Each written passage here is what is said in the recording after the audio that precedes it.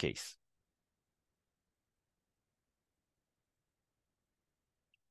Great. Okay, so now we have seen Numba, and I think that Numba is like kind of great, uh, and it does most of the time perform super well, but that's automated, if you will, optimization. Now we can also see another method, which is Cython, which is a way to do that, but then the optimization is not so automatic, which can be um, a good and a bad thing. It's a bad thing in the sense that then it asks you to do more stuff manually yourself. Uh, so you have to spend a bit more time on that. But then it's uh, because it's manual sometimes, that means that it's easier for you to actually specify what you want. That means that basically if you play with Numba and Numba doesn't want to optimize your thing because it doesn't understand what you want to do, then you are sort of stuck.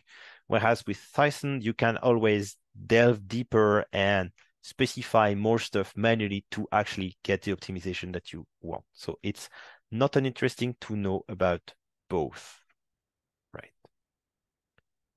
All right. So then Cython, let's look at what it does, how it works, and how it can help us. All right, so what it does is it, it tries to compile your Python code to C, or at least part of it. All right, so the goal is sort of the same as Numba, but it doesn't, it does it like semi, semi manually, semi automatically. So in Jupyter, we would, uh, we can load this extension and then we use this here magic command to transform stuff to Cython. Outside of Jupyter, you do it in command line flavor. So we call Python or we write a little uh, file to set how it should be compiled to C and how we should interact between C and um, and Python elements. All right. I you gave I gave here some example, but here we'll use the Jupyter version. So I load this extension. Then we will work our way through this little example that they give in their documentation, which I find fairly nice then to have a small progression. So they have on one side the function that we just worked on, okay, which is how to integrate a function. Now we have just the function in two in, in two subfunction, right? One main that does the integration and one would just compute this x squared minus x. So this is here our Python. And now what we can do is that we take the same thing. I just had person person Cython there. Okay. So I execute this one as well. And now I can compare the two, right? So takes a bit of time to compute. The native Python we know should take 200 and yeah, 200 and something. And then simple Cython, let's see. Okay, so simple Cython. Here you see it's better, but we are nowhere near the sort of optimization that we have seen up till now. Like remember with the NumPy, we had a factor. For me, it was a factor seven. For you, maybe a factor 20 something.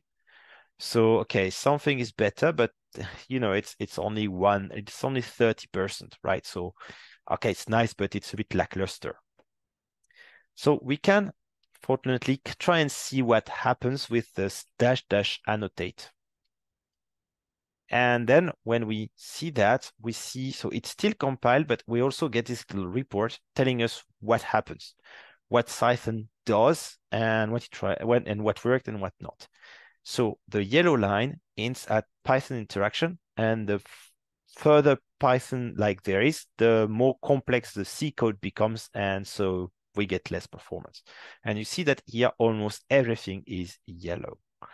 If you want, if you are curious, um, you can do something like this, click on the plus, and then you see here for this line, oops, sorry, this is the equivalent C++ code. So you see that here, that's why it's a bit complex, is that just this line gets replaced by all of this. And so what it does there is that it defines a function, but now Python function are not typed. That means that they could return anything, and they take here and one argument, x, but which could be anything. But C function have much more constraint, right? And they must have a return type and they must have like they, they must know exactly what is the type of what they are given. And so to circumvent that, Cython creates all of this super, super, super ugly code, okay, which kind of circumvent the sort of flexibility that we that Python have and that C doesn't want to have. So that's why it's super bad, all right? And as you can see, everything is yellow. So all of our code is super ugly like this. Maybe not that one. Okay, yeah, here it's much simpler, right? But that's the simplest one that there is. Yeah. Right. So now what we can do is we can start giving some hints to Cython to help it compile the code better. For instance, we can say, okay, here you put something super ugly because you don't know that, for instance, X is supposed to be a number. And we swear we won't give you anything else than a number. And same thing for A, B, and N. So we can start doing these sort of things, all right? So we add some manual annotation of the type. So we say here, if takes a double, that is X, and then here this function takes a double and an integer double is the equivalent of a float 64. It's a long float, if you want. Then we say that i is an integer. Here with the cdef, we tell it that you are like we tell it, all right, you are inside a function and you can define it using the C type and not the Python type. So if you we come back there, you see there it has defined a Python type uh, integer, right? But if we have a C-type integer, then we have less Python, more C, and so we go faster. Same thing here for S and DX, all right? And then here we just call this new function that we created.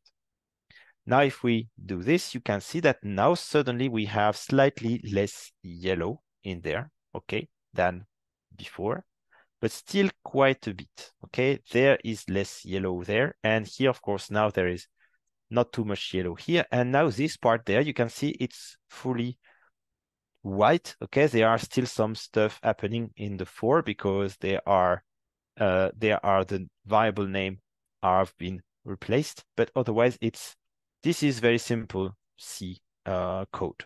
All right, it's just using weird uh, variable name because I is uh, an integer there and int and n here has been also recast to sc integer. And that's it. So already there, we can gain something from that. And then of course we can go even further and even further and even further until we have almost only C. For example, we can react and say here, there is a lot of Python interaction there for this function, but we only need it inside this function here, okay, which is also something that is compiled by Cython. So this could be pure C in the end, right? There is no need to be interaction between this call and that call because this is a simple float that we give a simple double and we catch a simple double. So what we can do is that we can have more typing where we say explicitly that this function is not a Python function. It should be fully compiled and so we say here cdef and not def to say it should be a C function. It will be like it will return a double and take a double as input. So that's kind of the, the, the structure of this is that you do cdef, return type, name of the function, and then for each argument you give the types. And then here we have not changed additional stuff. And now when we compile, now we see much, much, much less yellow. There is yellow here because it's a function whose role is to interact between Python and C.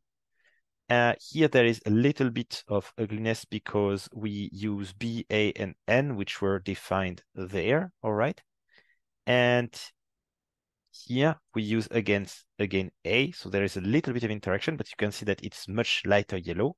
And there again, because we return back outside of C toward Uh, toward Python. But then for this function there, you can see that now it's fully white because it's fully compiled. All right. So that's kind of how we go at it. And it can become a bit more complex, a bit more ugly. But you see that you have then fairly high control on what you go and where you go and how you can specify to Cython what should be should be compiled fully and what not and so on and so forth. There is also a good support for NumPy array, although uh, you need to the, the syntax, let's say, is not the absolute easiest. So there is a little bit of legwork involved. All right, so then we can sort of try it out. We have our native Python. We remember that it takes about 200 milliseconds to run. Then the Cython is about one quarter, slightly uh, one third better, right? Then we have the some typing there where we just give some hints there. And then we have the more typing, the one that we just saw, and that's what we get. All right. So then we see okay, at the beginning, eh, we don't have much, but then we see that as we have more and more typing, we have more full C functions. And now we get an almost 100 times speed up. So we are much, much, much closer to what we would expect. All right. Are we good so far? Everything still making sense? Or are there any questions? Okay, so there's a question by Tess. How would one go about debugging the Cythonized code? I would personally be a bit uh, careful. I would not I would I would not Cythonize something before I'm sure that it already gives the right and expected result. So I would write my Python code, make sure that it works exactly as expected, and then Cythonize it. And as I Cythonize the stuff, I would check that I still get the proper expected output as as I go. Does that make sense? Great. All right. So then let's now see a little bit where this thing can go. For a more complex example, we'll see about the Cythonized version of our pairwise distance. Now brace yourself uh, because there is some ugliness there when we work with multidimensional arrays. But once you kind of get there, it works. So Cython annotate of that. Okay, uh, blah, blah, blah, blah, blah. So uh, we import NumPy as NP, and then we see import NumPy as NP. All right, so what this says is that like you import both the Python version and the C version of NumPy. As I said, they have ported NumPy inside their Python libraries. And we see import Python.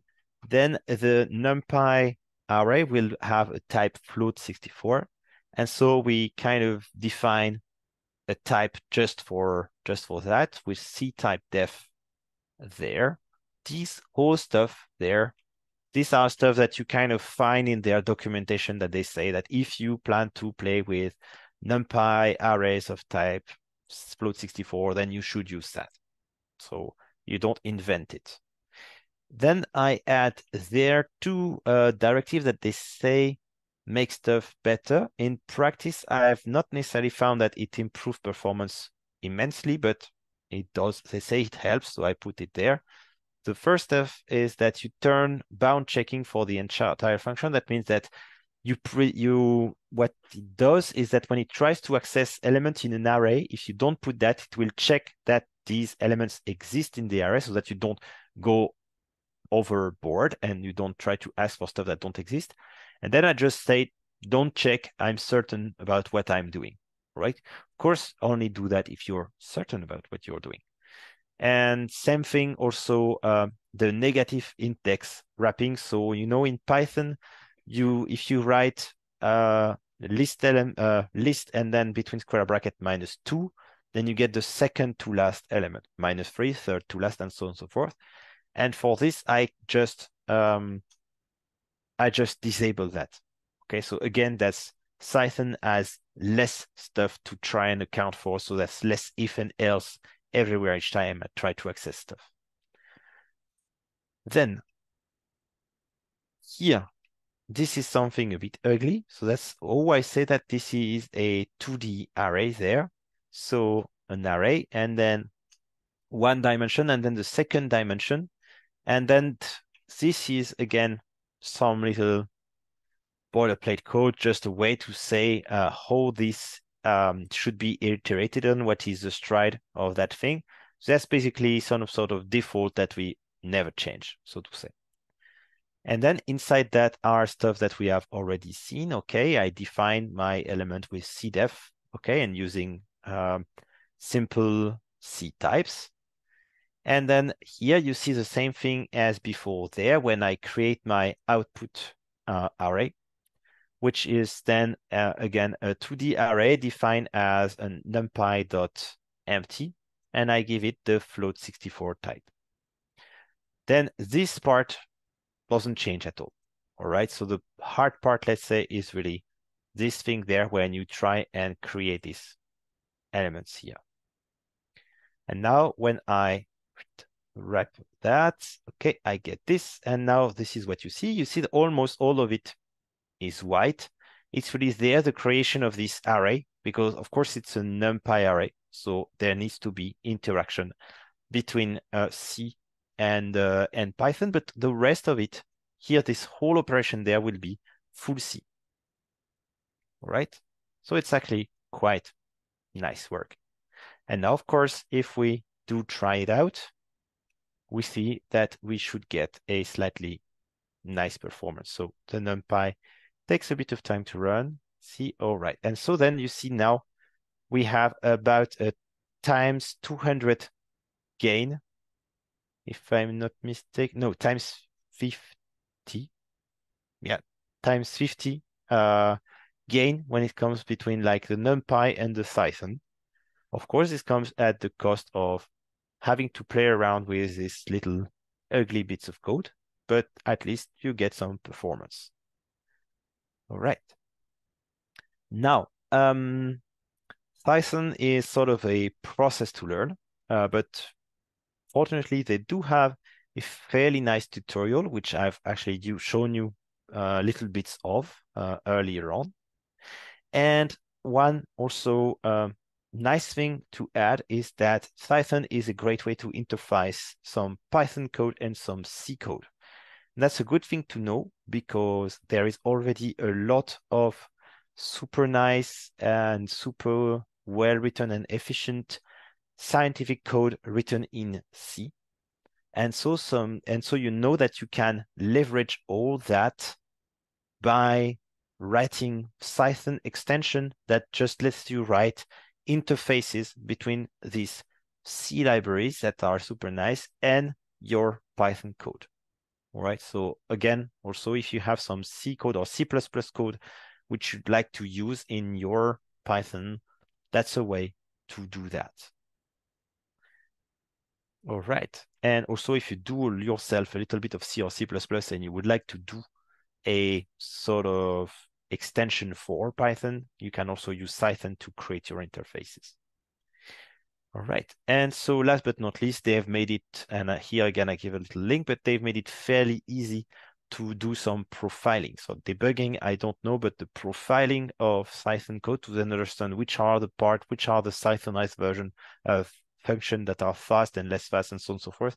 This is quite doable as well, and works with cprofile as well, if I if I remember properly as well. So with at least the same interface. All right. Are there any questions? All right, so apparently there is a link that was dead. Ah, too bad. Is it? Yeah, that one. Okay, so then while you have your exercise that is to come, I will ensure that I find a replacement for that link. But thank you, Tess, for uh, for letting us know. Let me make a note. Are there any other questions?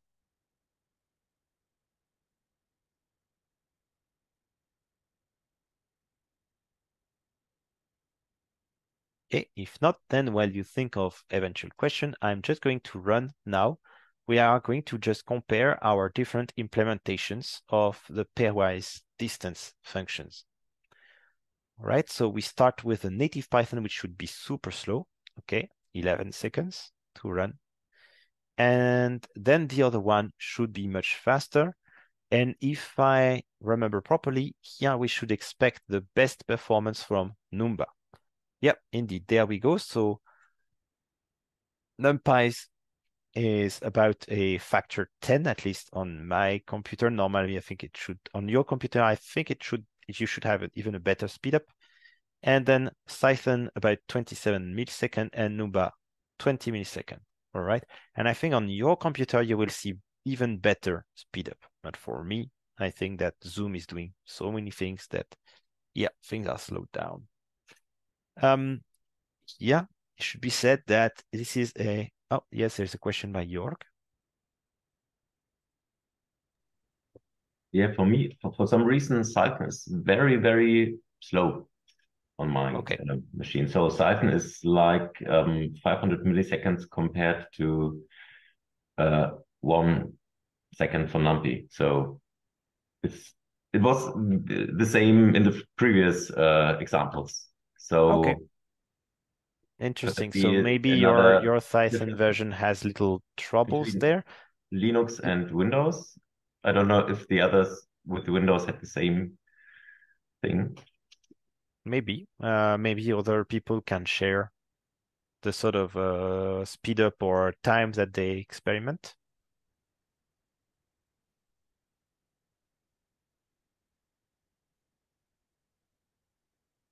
All right, so while this runs, yeah. So one thing also that you can check is that indeed here you get most of the stuff turned white and that you don't have yellow remaining too much. Yeah, that was the same. That was that exactly was the, same. same as in yours, but the results I can paste it. Okay. So then it might be that indeed just the the C libraries for some reason run slower on your on your computer. Let's mm. see. We have a few other people sharing. Uh, so yours and then yeah, so you see here, for instance, some other people get very similar performance for Cython and Numba. Yeah, that's closer to what I experimented as well uh, when I'm outside of, of Zoom. I tend mm. to hmm. see very similar performance. Uh, Victor, maybe could you tell us which OS you are using, mm, just to know if it's maybe a Windows problem?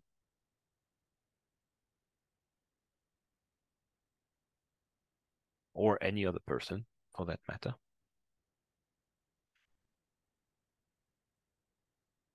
On a very old Mac. So on a very old Mac, it works uh, it works the same.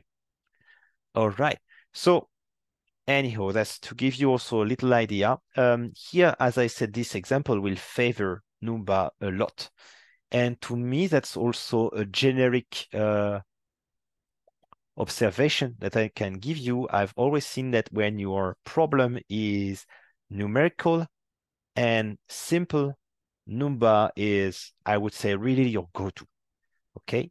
And when you go for weirder stuff and so on, then uh, if Numba doesn't give you super good uh, performance, then try Cython, but also know that it will be a bit more involved. Though, I mean, you can get very, very, very, very good performance. And once you know the few tricks that there is to know about Cython, it's actually not too, too, too complex uh, to to actually do and get good performance out of it. Right. Okay, so that's most of the stuff that I wanted to talk to you about uh, about like the trick to get better performance and so on and so forth. And now, of course, I've shown you a bunch of stuff. So the most important is that you go and practice a lot. And so that's why we have now our second